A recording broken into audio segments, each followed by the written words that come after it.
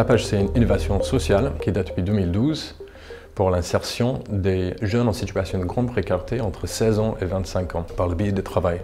Donc tapage, ça veut dire travail alternatif payé à la journée. Ça veut dire que les jeunes qui travaillent, qui tapagent, sont payés à la fin de chaque journée.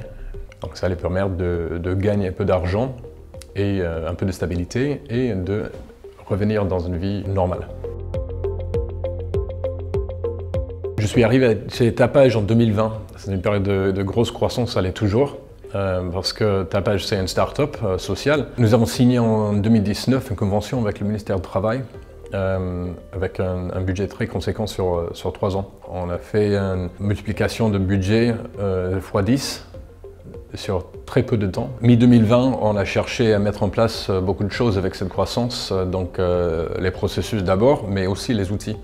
Et pour les outils, euh, vu qu'aussi on a tous cette croissance pendant cette période de crise sanitaire, on était beaucoup en télétravail. On cherchait quelque chose de léger, on cherchait quelque chose qu'on pourrait utiliser de n'importe où, euh, n'importe quand, et aussi de n'importe quel support. Si c'est un PC, si c'est un Mac, euh, ça ne change rien. Donc c'est juste une version web. Donc on a cherché beaucoup de partir sur des choses comme ça pour cette simplicité de travail, pour cette accessibilité.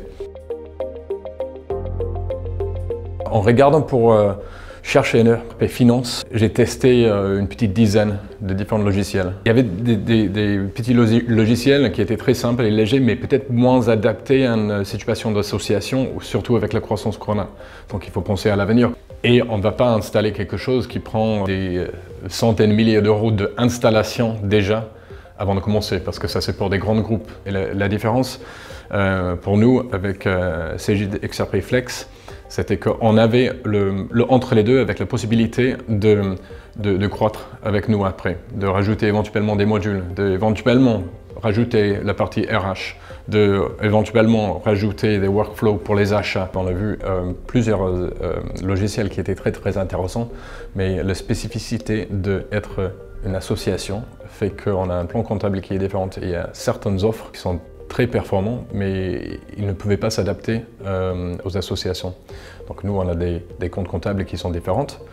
il y a des traitements qui sont différents euh, quand on arrive au bilan ou compte au résultat. Et donc avec CGD XRP on a pu être maître de notre plan comptable de A à Z.